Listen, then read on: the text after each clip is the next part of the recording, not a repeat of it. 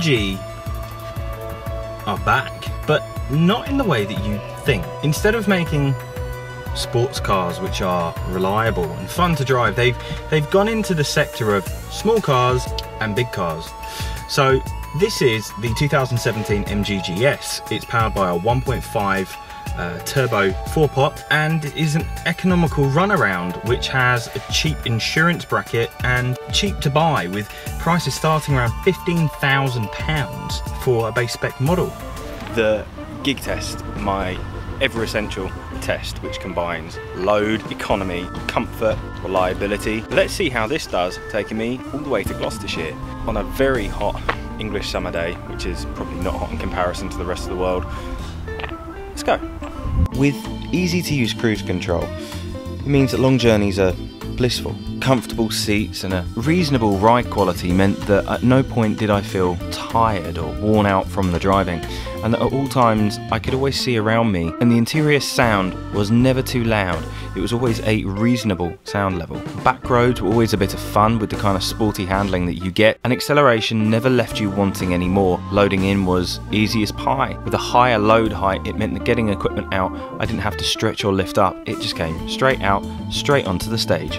Business wise, MG are growing quite well. Last year they saw around four and a half thousand uh, new models registered on the road, which is between their MG3 and their MGGS. And later this year, the MG XS will be released, and that's the, the middle point. It's in between a small car and a big car. At £15,000 ish for a base spec model, you don't get leather everywhere. You do get quite a lot of plastic, but it's not bad plastic. It's the kind of plastic that you would have seen in high-end cars in around about 2004 with the GS being assembled in China, the build quality is actually quite good and the electrics on board are very reliable. The MG3 is built in Birmingham at their factory still. So the GS is modern, sporty and quite stylish. It actually looks quite good. Initially I was a bit like, eh, what is this? And then I adjusted to how it looked. And it is not an ugly car by any means. The performance isn't bad. While you won't be seeing any sub 5 second 0 to 60 times, the 1.5 litre engine does put out a respectable 166 PS with a top speed of 118 miles per hour, insurance group 16E, and a potential combined fuel economy of 46 miles per gallon.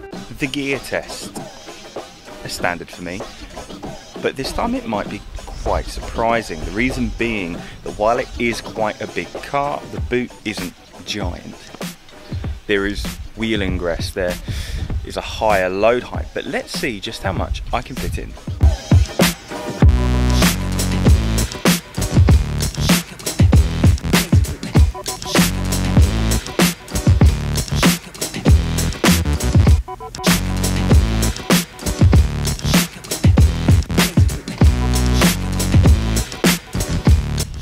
Sadly, as sort of expected I wouldn't actually be able to fit the base in the back.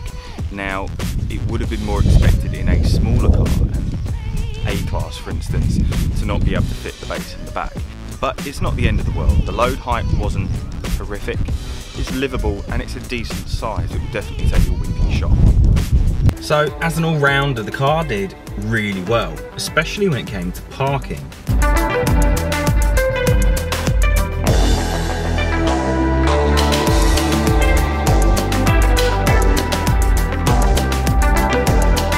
Only real issue came that while this is a SUV, it wasn't remarkable off-road. The ground clearance isn't as good as you think it is, with some of the lower swing bars being very, very low to the ground.